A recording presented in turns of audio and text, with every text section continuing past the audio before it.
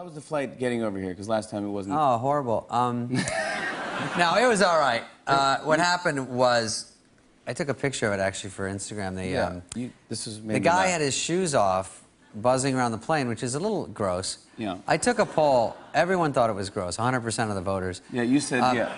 What happened is, 100% of the voters. yeah, they have no. He's got no shoes on, so he's going. And then he goes in the bathroom over and over, and I got this action shot of him coming out.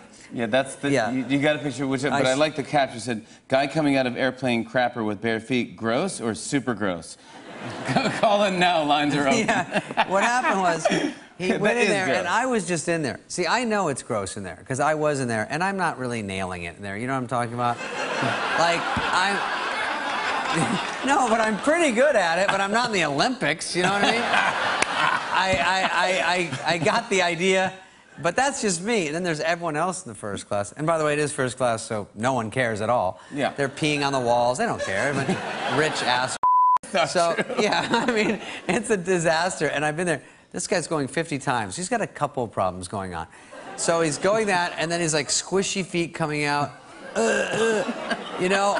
By the way, when I go in my shoes, I throw them away when I get home. you know what I That's mean? how I dirty don't- the airplane Yo, bathroom- yeah, of course. Filthy. So uh, that guy. But you can get in trouble. I, t- I took his head out in the picture. You did, yes. You didn't get his face. I got yelled at once. I got sued. Yelled at. Um, I got sued. Someone's- Someone sued? Yes, because on stupid Instagram, I took a. I was at a concert and there was like a 90-year-old woman near me, and everyone stood up and I don't even know why she was there, but she was sitting down. So of course I took a picture because I'm gross and thirsty, and I said, uh, "Hey, um, this girl's obviously soup shrooming out. She's freaking out, you know."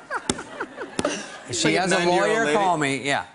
Uh, my client, she's like, I have grandchildren. I don't want anyone to think I'm shrooming out. I'm like, no one thinks you're shrooming. I think you're on Molly, obviously.